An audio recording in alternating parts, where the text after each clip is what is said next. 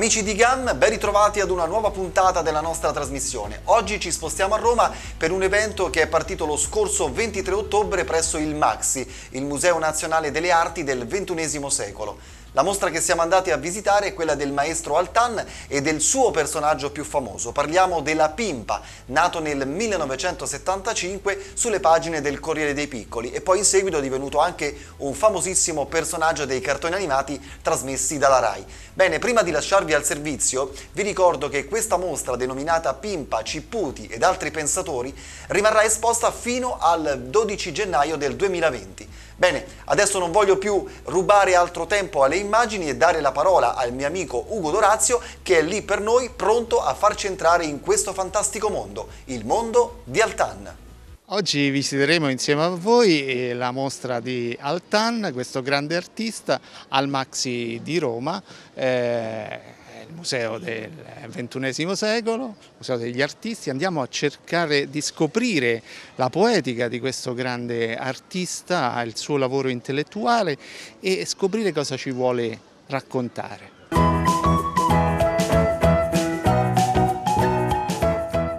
La retrospettiva è una coproduzione della Fondazione Solares e di Franco Cosimo Panini organizzata da Anne Palopoli e da Luca Raffaelli e si suddivide in sei momenti. Altan prima di Altan dove vediamo gli schizzi dell'autore che cerca di trovare un suo stile, ci sono qui materiali inediti che hanno preceduto il, i suoi esordi.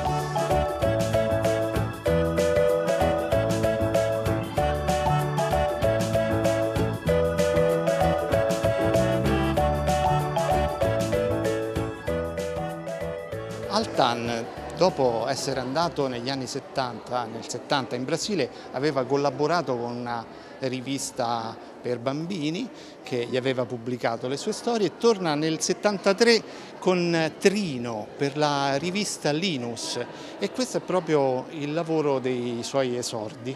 Trino, ecco, lo vediamo, è un eh, dio incaricato da un altro dio che eh, incarica Trino di fare il mondo, di costruire il mondo. è interessante vedere proprio qui in queste tavole il lavoro dell'artista che parte da un foglio bianco e da lì crea. Ed eccoci qua, entrati nel mondo delle vignette di Altan, eh, il mondo di Cipputi, il eh, famoso operaio eh, sempre per le riviste satiriche o per Panorama, per eh, Repubblica, eh, per tanti giornali, l'Espresso. E, e qui il mondo di Altan è veramente più triste, dove ci sono pensionati, signore, casalinghe, operai appunto, che ci mostrano l'Altan eh, quello di un mondo un po' più cupo.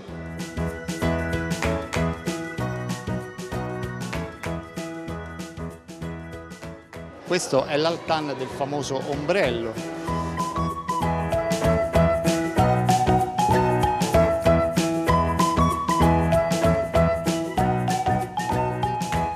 Siamo entrati nel regno appunto graffiante di Altan, dove è quello più conosciuto con i suoi personaggi cinici e appunto questi personaggi appaiono ai nostri occhi sempre rassegnati alla triste vita quotidiana con uno sguardo sempre un po' assonnato, ecco, quasi sottomessi al loro mondo e alle vicende che li circondano.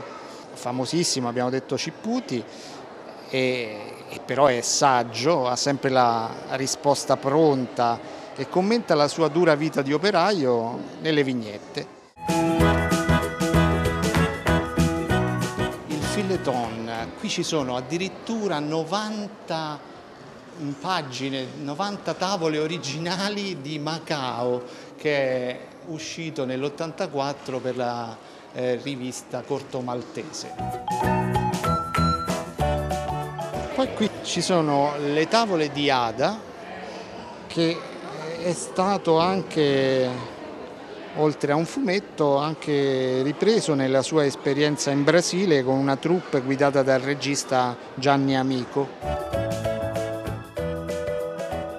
altri fumetti per cui Altan ha collaborato sempre con Linus era Casanova, sempre tante tavole a fumetti per Linus, sempre.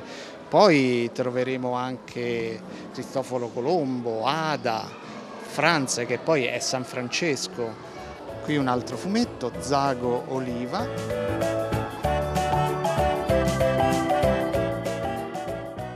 Sopra Cuori Pazzi.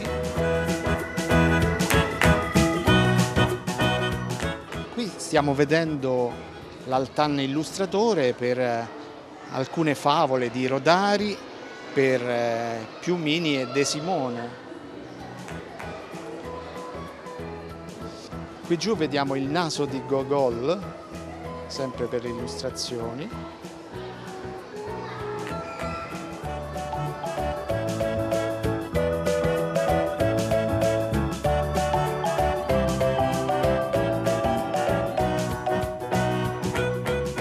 Il Pettirosso Pippo che è uno storyboard del 94 e già prelude a i suoi cartoon e fra poco entreremo nel magico mondo più conosciuto che sarà quello della pimpa.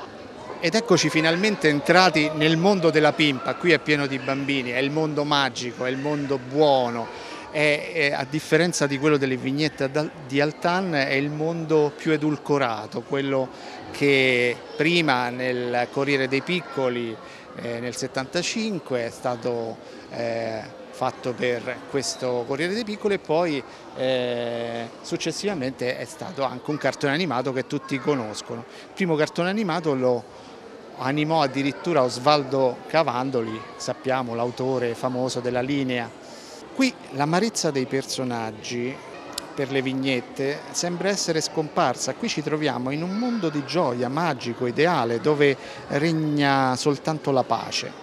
La cagnolina Pimpa è curiosa, vuole scoprire tutte le cose, proprio come fanno i bambini. È generosa, vive in un mondo dove non ci sono nemici, dove soltanto qualche rimprovero lo può fare il suo Armando. Ma la Pimpa è amica di tutti, dei fiori, degli altri animaletti, della luna.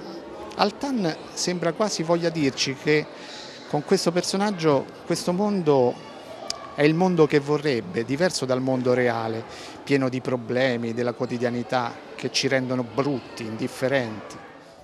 Insomma, stiamo viaggiando nel mondo di un grande artista che ci racconta la sua visione delle cose, che ci dice come sarebbe bello un mondo felice come quello della Pinta.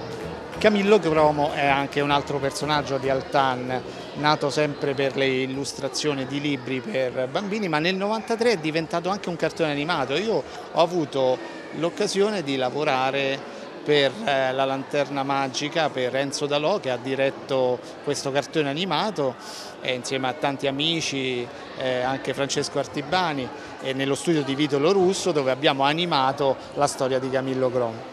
Anche qui la storia di Camillo Cromo è molto bella e parla proprio di un giovane camaleonte che come tutti i camaleonti all'inizio erano rossi, quindi deve imparare a mimetizzarsi, a cambiare colore, se no i corvi lo mangiano.